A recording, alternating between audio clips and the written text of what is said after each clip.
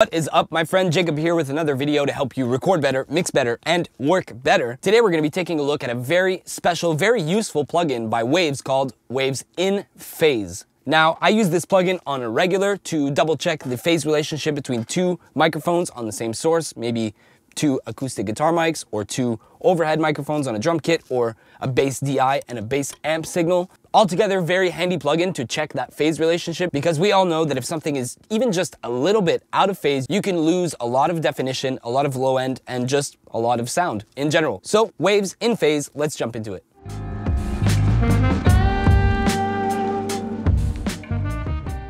So before we jump into the video, I wanna tell you about something very, very special. If you're just getting started in audio, I have written up a gear guide, what you need and how much it costs to start recording records in your studio. Go check that out. Again, it's absolutely free. Go to www.mixwithjacob.com forward slash gear guide. Go pick that up again. It's absolutely free. Let's jump into the video. So I got this session here. I have two acoustic guitar tracks soloed. Now, these two tracks are actually the same guitar part, the same guitar take. I just recorded it with two separate microphones. One is a tube condenser U67 and the other is a ribbon mic, a Coles 4038. I know I recorded this really well and I know the phase is almost perfect because I had both capsules one next to the other as close as humanly possible. And when you do that, it eliminates a lot of the phase problems you're gonna have because your capsules are so close together on that same source. But for the sake of this demonstration, I'm gonna solo these two tracks and we're gonna play them together. And this is normally as they're recorded, no phase flipping, no anything.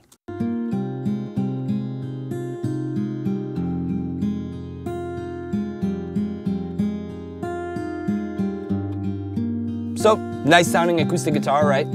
Sounds good. If I go here and I flip the phase, listen to what happens.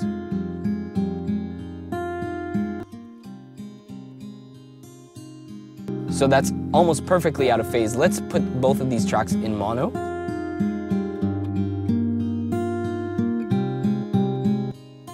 the sound almost disappears, right? So you can tell already with that test, I know my phase is near perfect because when I flip the phase from one signal to the other, the sound almost goes away entirely. So I do have a good phase. Now let's say I purposely move one of these acoustic guitar tracks a little off, just to give you an example of what it could sound like if it's a bit out of phase.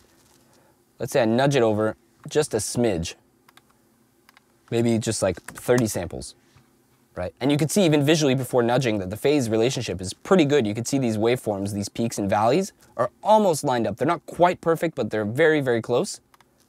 Let's say I take this one and I nudge it over just a little bit. Now my signal is gonna be less in phase than it was before. Let's hear that. Still sounds fine, but, right?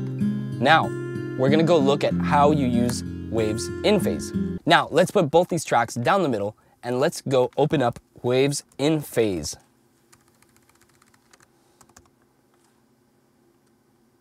Now, when you open up InPhase, if you're using this on a mono track, automatically it's gonna have one channel be channel A and the other channel be sidechain because it's not a stereo input. If you use this plugin on a stereo channel, it's automatically gonna give you channel A and channel B, the left and right sides. And you can check the phase between the left and right on that stereo channel. In this case, I have two different mono channels. So I have to put one instance of InPhase on one of the channels and bus the output of the second channel into the sidechain input.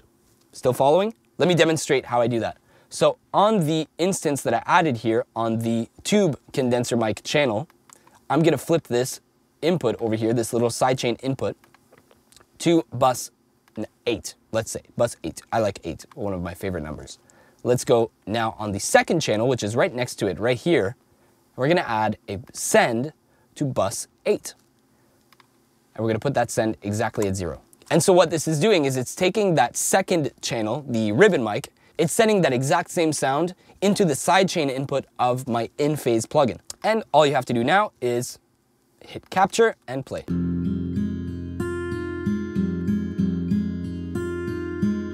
And so now it's analyzed just those couple bars of music and you can see here, you can zoom in and it's already telling me, hey, your signal on the bottom here when it's leaning to the right side, it means your correlation of phase is good. It means it's positive. If it's leaning to the left, in the yellow, it's bad. That means you're out of phase. Now watch what happens when I take this channel A and I move it around. See how that correlation bar moves? Now I'm basically adding a sample delay to this one channel to shift it in time and put it in phase or out of phase with the second channel. And the more I move it, the more it does a full cycle of phase. Now, safe to assume if I move it more than four or five milliseconds, you're gonna get never a very good phase because it's completely different at that point, right? So let me put it back to zero, reset, and let me move it to a point where it's the best possible phase. Look at this. That's really, really good. You can see as I continue pushing it forward, it leaves this little blue marker here. And this is actually just the plugin telling me, hey, at this moment, it was the best possible phase you could have. So the more I move it, that little blue thing is not changing. And if I go back to zero, you see it's not even close to being as in phase as it was over here.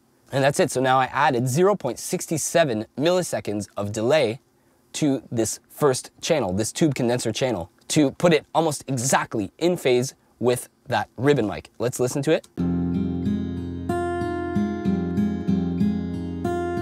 Now let's say I flip the phase of that first channel.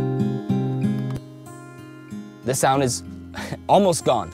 So this is the perfect example to show you that I have literally near perfect phase with these two microphones on the same source. Now let's demonstrate that same technique, but on drums. So I have some drum tracks here. Let's solo these and take a listen.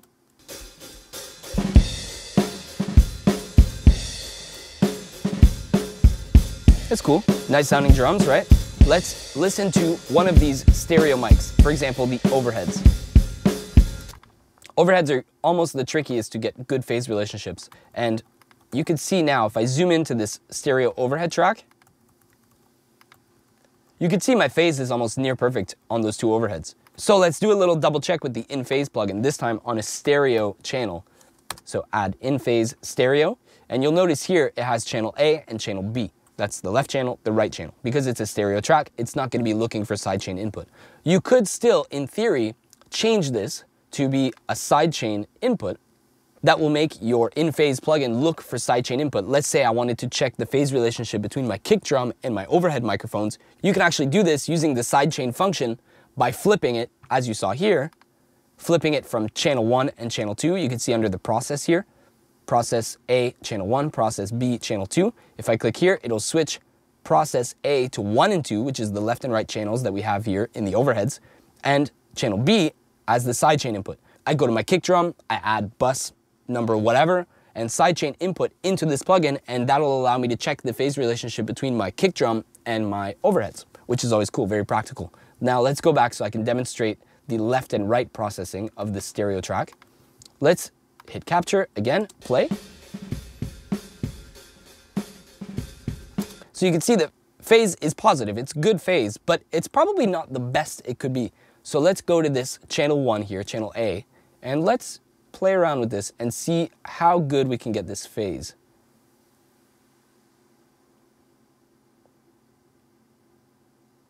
I think that's about as good as it's gonna get, to be honest.